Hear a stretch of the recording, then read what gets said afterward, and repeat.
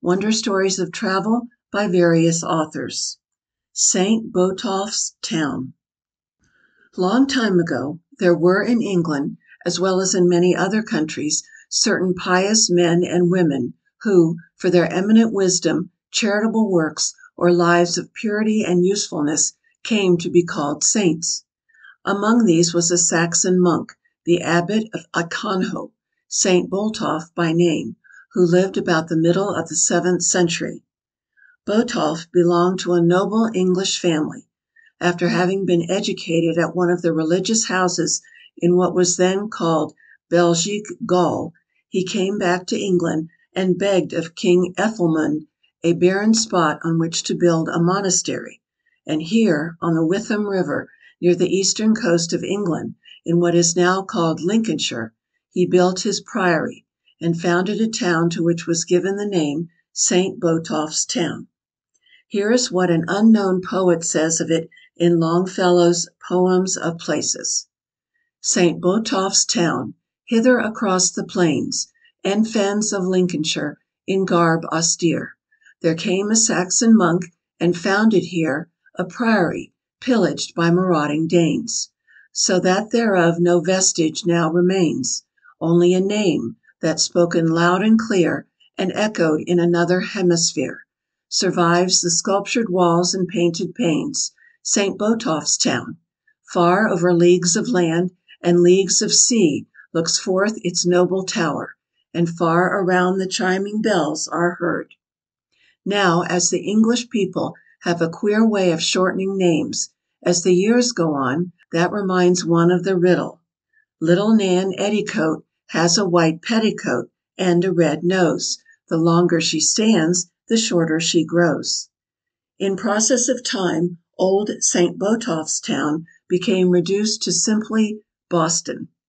Footnote: So now you see that echo in another hemisphere of St. Botolph's Town is, of course, the name of our own Boston, so called by its early English settlers in memory of the English Boston they had left behind them, though, as those of you who have read Higginson's History know, it had at first borne the name of Trimountain, because of its three hills, its Indian name having been Mooshawamuk, shortened, English fashion, to Shawmut.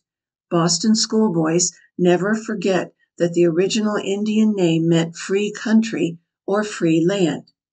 The name Botolph means boat help, and so in those old times St. Botolph came to be deemed the patron saint of mariners, and as both Bostons are commercial centers by the sea, it is eminently appropriate that they should bear the old boat helper's name. Perhaps, too, that is why Simon Kempthorne, mariner, in Longfellow's New England tragedy of John Endicott, cries out, when a fire is kindled in Boston's market place, in the year 1656, to burn the religious books of the persecuted Quakers: "Rain, rain, rain, bones of St. Botolph, and put out this fire." Would not that quotation make a capital motto for a Boston fire company? The English Boston has a high church tower, one of the most beautiful in England. The loftiest tower of Britain's Isle, in valley or on steep.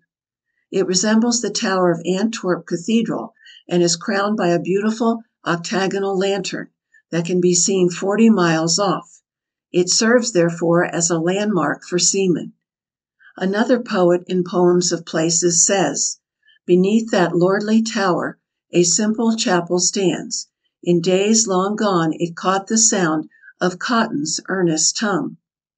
For the Rev. John Cotton, one of Boston's earliest ministers, came from Boston, England, and it is of him that Norton says, in the tragedy of John Endicott: "The lantern of St. Botolph's ceased to burn When from the portals of that church he came, To be a burning and a shining light Here in the wilderness." And now I have to tell you of what seems to me a pleasing and surprising coincidence. In the Catholic calendar each saint has his special day.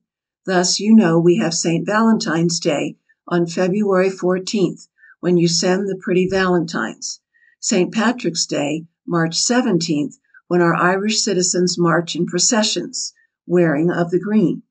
St. John's Day, June 24th, when the Canadians among us make wreaths and garlands of the fresh young maple leaves, because the maple is the Canadian emblem.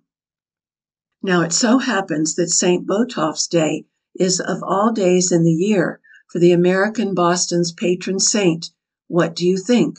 The seventeenth of June.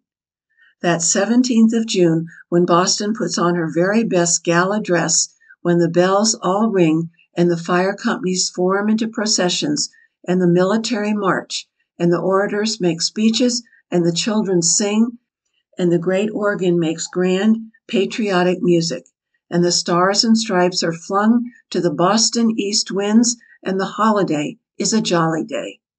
Now do not you agree with me that we have found a delightful triple coincidence in that Boston's great holiday is Bunker Hill Day, and Bunker Hill Day is the seventeenth of June, and the seventeenth of June is old St. Botolph's Day. Footnote St. Botolph's Bridge in Huntingdonshire is now called Bottle Bridge. End of section 26.